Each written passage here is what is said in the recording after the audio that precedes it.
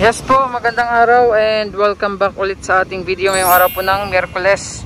So today po is June 23, 2021. Time check tayo 3.26 po ng hapon.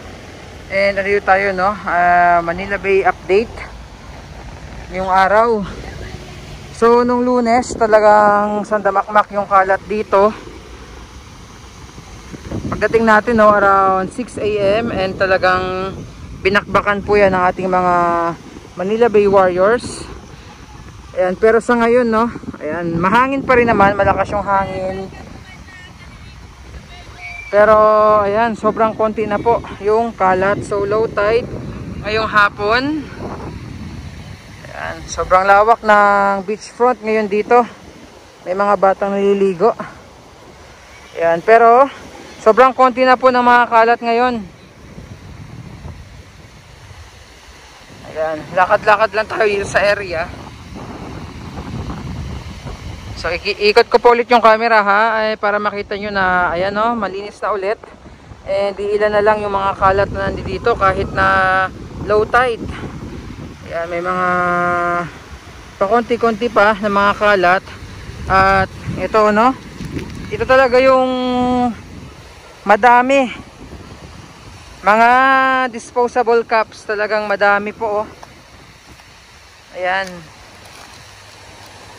No? Madaming madami disposable cups lalo na doon sa may area ng phase 3 yung tinambakan ng buhangin doon talaga. Grabe napakadaming disposable cups. Yung kulay ng dagat ngayon medyo kulay tsokolate yan, medyo maalon pa rin. Pero low tide. Yan, pero may mga batang naliligo po.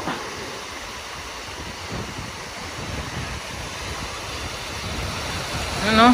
Ang dami, ang dami talaga ng mga ano, disposable cups.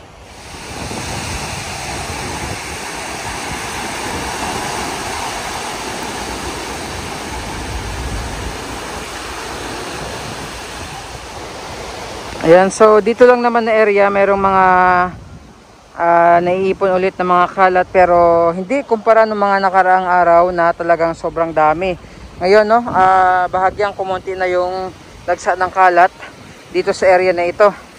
Yung, subalit, no, dito sa area ng Batuhan, Ayan, ang dami pong nagsusumiksik na ng mga kalat dito sa mga boulders sa gilid ng seawall. Ayan no, ang dami.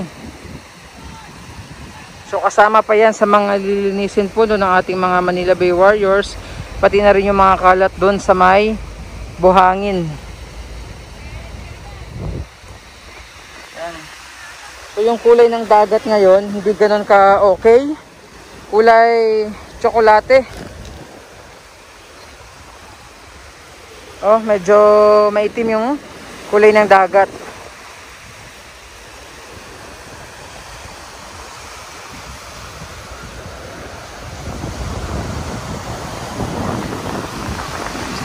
Yan, at mukhang meron pa mga dadag sa ingkalat dito mamaya dahil yun nga no, malakas pa rin yung hangin at medyo maalon pa rin po.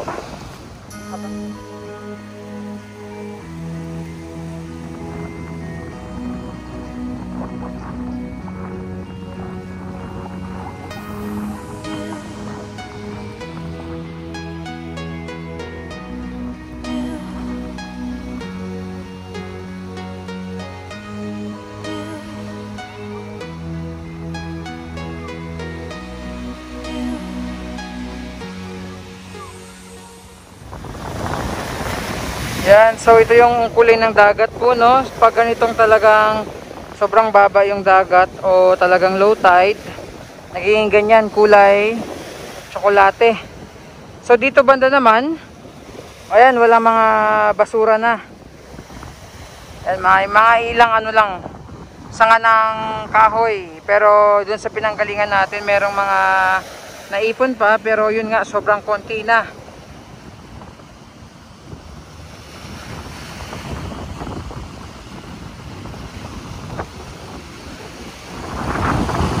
Mainit no, pero napakalakas naman ng hangin kaya bawi din bawi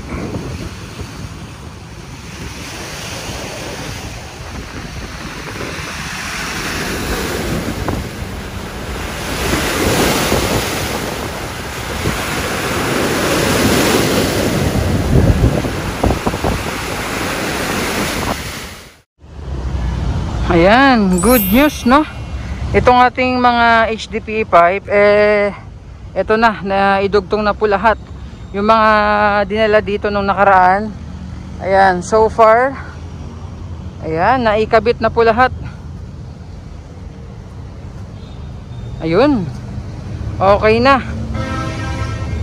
So ito po ay magtutuloy-tuloy na eh kapag pumasa na sa hydro test kung wala nang leak so magtutuloy na po yan magtutuloy-tuloy and ilalatag na po doon sa uh, kadugtong ng Padre Paura.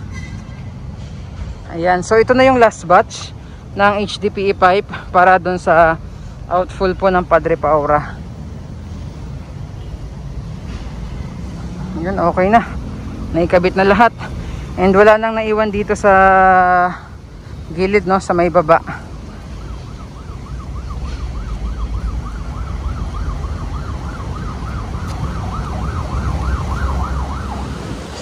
So ipakita ko po sa inyo yung last batch kung gaano po kahaba. So mula dyan, yung dulo, tapos andun naman yung kabilang dulo. Yan, so nakita nyo po no, na naidugtong na lahat. So abangan natin yung gagawin na hydro test dito to check kung merong leak sa tubo na to. Nakita nyo naman no, napakahaba. Tila baga isang ano, higanting straw ng milk tea. Ayan. Ayan zoom natin ng konti.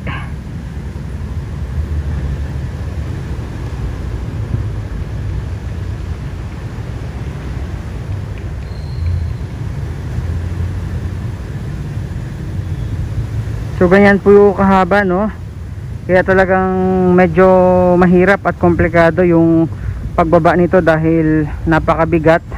At the same time yung paglulubog niyan sa ilalim ng dagat isa rin sa talagang challenging sa ating contractor. Dahil medyo malalim na doon no? At syempre yung lakas din ng pressure ng dagat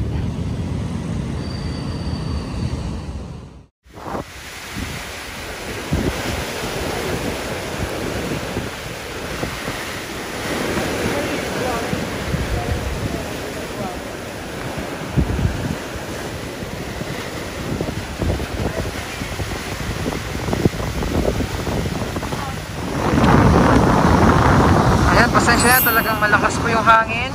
So dito tayo sa may area ng Remedios. And kung mapapansin nyo talagang kahit dito wala na gaanong kalat din po no? so sobrang kumonti na talaga ng gusto at si tatay enjoy na enjoy dun magpabalibag sa alon.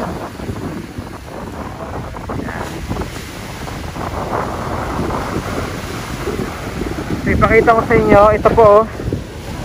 Ito ito. Ayan nasa harap lang natin so yan yung inilatag nila no na geotubes dito sa may tapat po ng Remedios Outfall. Ayan papunta yan dun. 60 meters.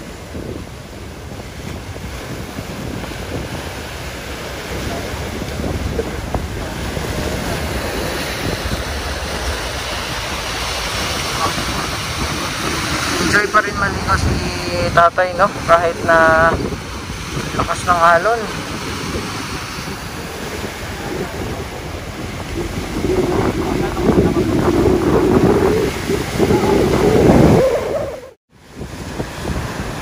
So dito naman tayo po sa area ng phase 3 Dito talaga yung sobrang kapal Sobrang dami ng basura nung lunes pero sa ngayon no, eh, pinagtulong-tulungan yan talaga ng ating mga warriors at yung mga kasama nating mga vloggers dito po na nag-update.